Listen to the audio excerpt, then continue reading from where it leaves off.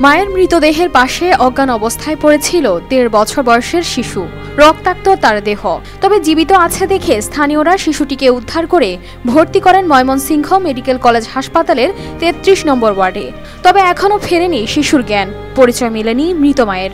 বাচ্চা সুস্থ আছে, তার ধাপে ধাপে চিকিৎসা চলতেছে, যা পরিদর্শন করে দেখতেছি এবং যারা বাচ্চার সাথে আছেন তারাও খুব আন্তরিক এর আগে ভোরে স্থানীয় এক ব্যক্তি ফজরের নামাজ পড়ে মাদ্রাসার পাশে তার মায়ের কবর জিয়ারত করতে যান। এ সময় নেত্রকোনা জেলার পূর্বধলা উপজেলার বিশকাকনি ইউনিয়নের নয় নং ওয়ার্ডের ধলা যাত্রাবাড়ি এলাকায় কাঁচা রাস্তার উপর পড়ে থাকতে দেখেন ওই নারীর মরদেহ।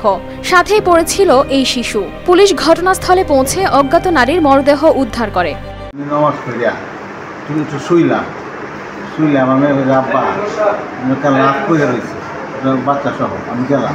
এক মহিলা বাচ্চাটা দয়া শুরু করে কুলো রাখছে। এরপরে দারোগা সবাই হ্যাঁ বলল হ্যাঁ লাস্টটা নিয়ে মাই বাচ্চাটাকে নিয়ে হাসপাতালে যান। আমি বললাম, আমরা তো সঙ্গে সমস্যা বলব আসলে যাব না। দারোগা বলল, আমরা আমি কোনো সমস্যা নাই, আমরা আসলে যান। এই বাচ্চা নিয়ে যান। আমরা লই আইছি আয়ারও চিকিৎসা, অনেক চিকিৎসা হয়েছে, ভালো চিকিৎসা হয়েছে, এলাকার।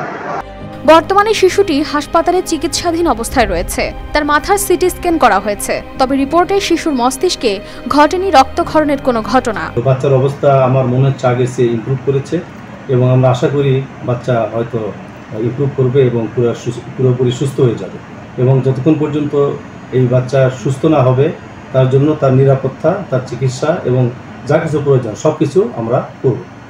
এদিকে নারীর মৃতদেহ হাসপাতালে পাঠানো হয়েছে ময়না তদন্তের জন্য। সেই সঙ্গে ঘটনার বিষয়ে পুলিশের তদন্ত চলছে বলে জানান পূর্বধলা থানার ভারপ্রাপ্ত কর্মকর্তা রাশেদুল ইসলাম। হাসপাতালে শিশুটির দেখাশোনা করছেন গ্রামটির ইউপি সদস্য রোস্তম আলী ও সুজাত মিয়া। পাশাপাশি বাচ্চা দেখভাল করতেছি, যাতে বাচ্চার কোনো সমস্যা না হয়। আমরা সহিত গতকাল যখন জিনিসটা শুনেছি তখন থেকে আমি এটার সাথে যুক্ত আছি। পাশাপাশি আমার কারণ সহকর্মী ছিলেন উনি আজকে দুটো করে টিমার ডিউটি আমি আজকে সকাল আটটা থেকে ছিলাম। গতকালকে দশটার সময় মতো থেকে গিয়েছিলাম। হাসপাতালের নিউরো সার্জারি বিভাগের সহযোগী অধ্যাপক ডাক্তার মোহাম্মদ শামিউল আলম সিদ্দিকী শামীম জানান, আঘাতে অনেক সময় মস্তিষ্ক নড়ে যায়, যে কারণে অনেক সময় জ্ঞান ফিরতে সময় লেগে যায়। ফলে এই শিশুর জ্ঞান ফিরতে কত সময় লাগবে, তা নিশ্চিত করে এখনও বলা যাচ্ছে না। News desk, R TV.